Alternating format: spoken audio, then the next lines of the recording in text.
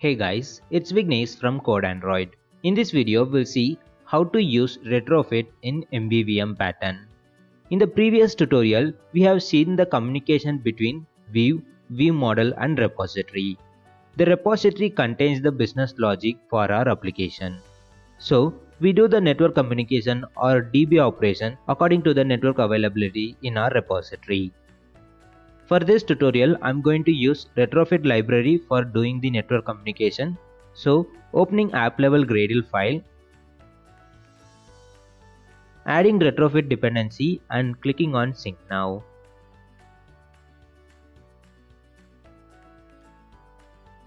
For keeping all the models and interfaces required for retrofit, I'm creating a package called network.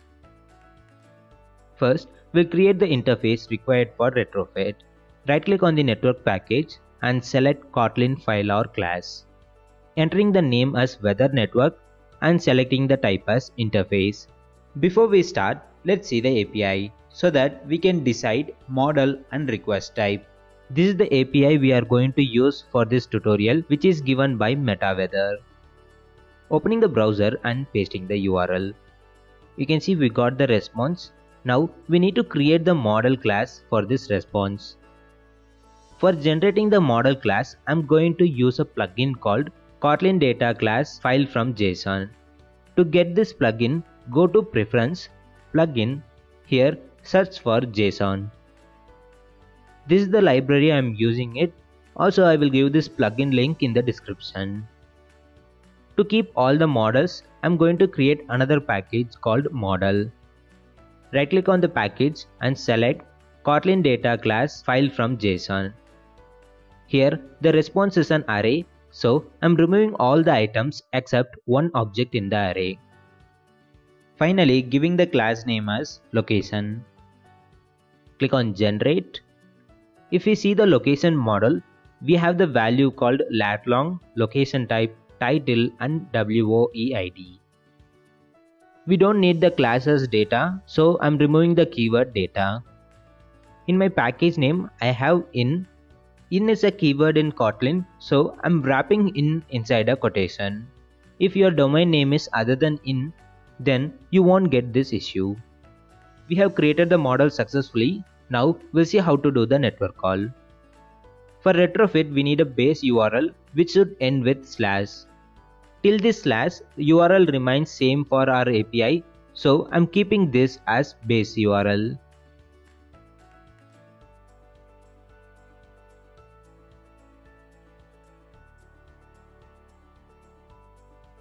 Creating a function called getLocation which will return a list of locations.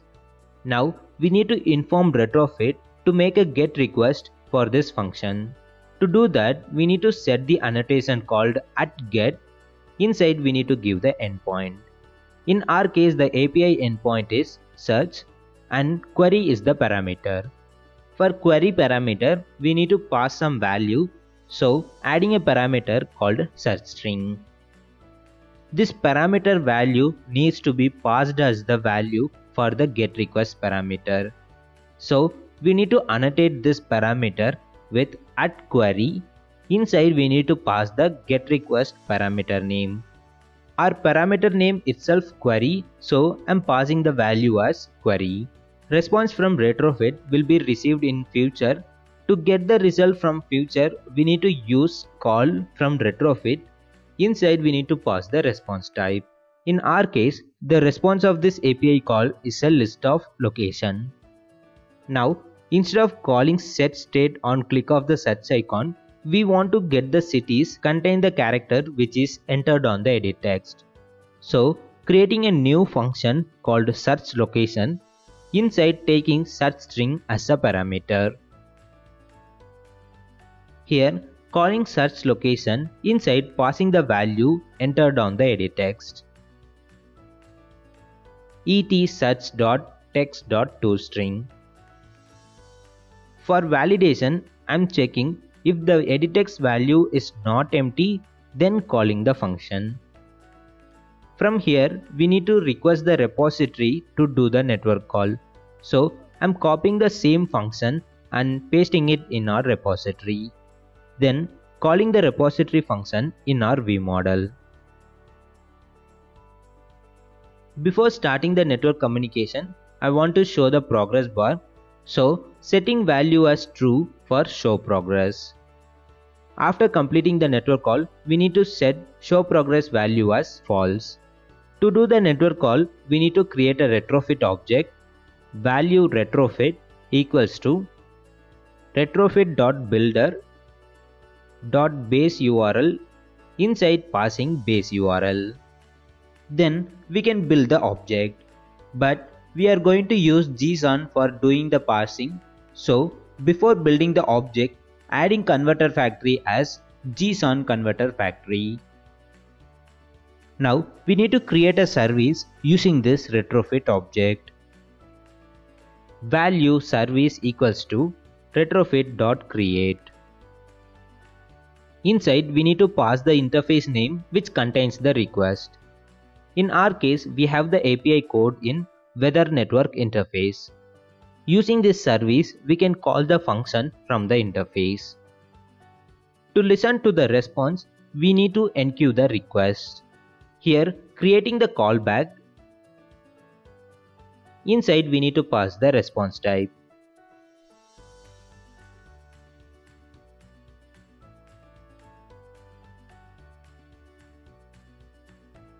Let's implement the member of the callback. When the API call is a success, then on response will get executed.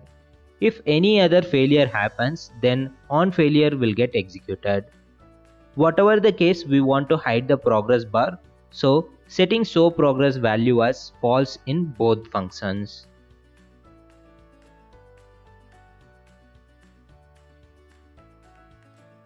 Also, adding a toast message on our failure case.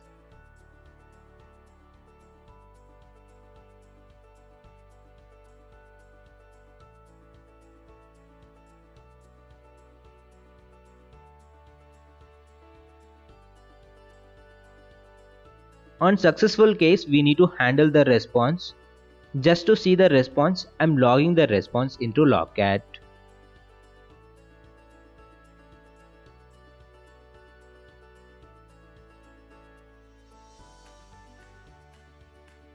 Let's run the application.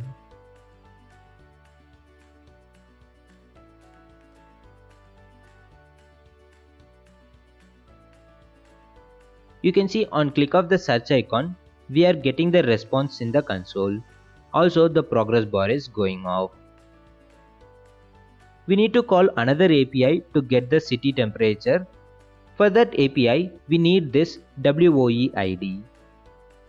For our new API, instead of search as an endpoint, we need to give WOE ID. Let's check the API response in browser you can see this is the data we are getting it from API. In this case, we are not going to use many fields.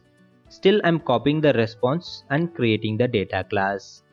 This time, I'm giving the class name as weather response. In this response, we have sub-object. So, the plugin will create sub-object into separate classes. We are not going to use these fields, so I'm removing it from the model. Also, I'm fixing the package name issue.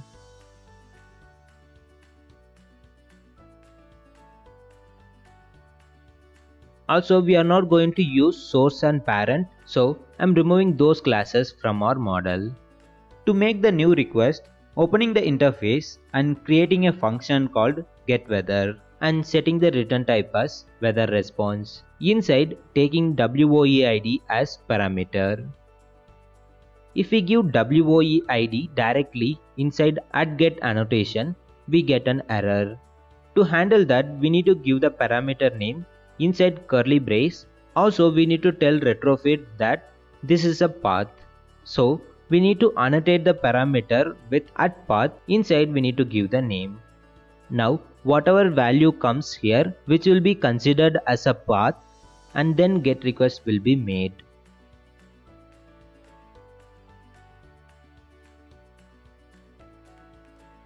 To check the API call, I'm hardcoding the search string with one of the WOE ID.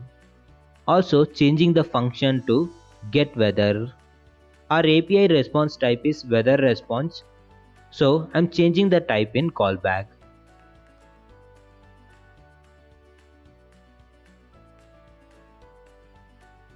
Let's run the application.